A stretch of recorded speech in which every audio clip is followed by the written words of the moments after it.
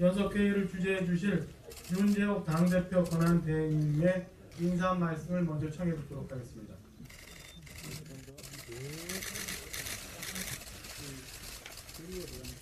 여, 여기 있습니다.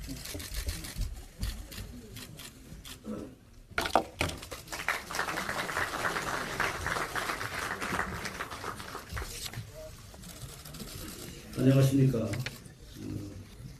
어, 국민의힘 원내대표 윤재옥입니다.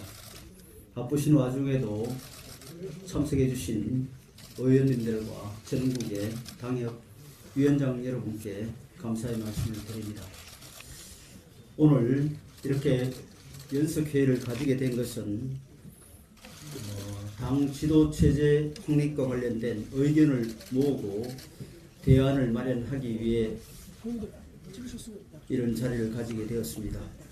김기현 당대표께서 사퇴하신 이후에 국민의 힘은 국민 눈높이에 맞는 당 지도체제 정비가 가장 시급하고 중요한 과제가 되었습니다.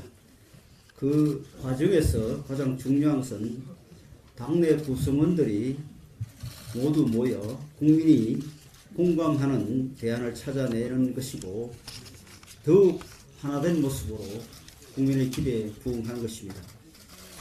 그래서 어, 당대표 권한 대응을 맡고 있는 저로서는 어, 당내 의견을 다양하게 지금 수렴하고 있는 과정에 있습니다. 그 중에 가장 중요한 그 의견 수렴 과정이 오늘 이 회의입니다. 의원님들과 전국의 당협위원장님들의 의견이 가장 중요하다고 생각해서 오늘 어, 자리를 마련했습니다. 국민의힘이 이런 위기 상황에서 어떻게 대응하는가를 국민들께서 보고 계십니다. 얼마나 건강하고 또 국민 눈높, 눈높이에 맞는 정체성 그리고 얼마나 투명하고 공정한 과정을 거치면, 거치면서 강력한 회복력을 가지고 있는지 국민들께서 어, 유심히 보고 계십니다. 그래서 오늘 함께 해주신 국회의원님들과 당협위원장께서 다양한 의견을 허심탄회하게 말씀해 주시기 바랍니다. 또한 정책적으로나 정치적으로 국민의 힘이 국민의 기준에 맞는 길을 갈 수 있도록 각 지역의 민심의 목소리도 생생하게 전달해 주시기 바랍니다. 감사합니다.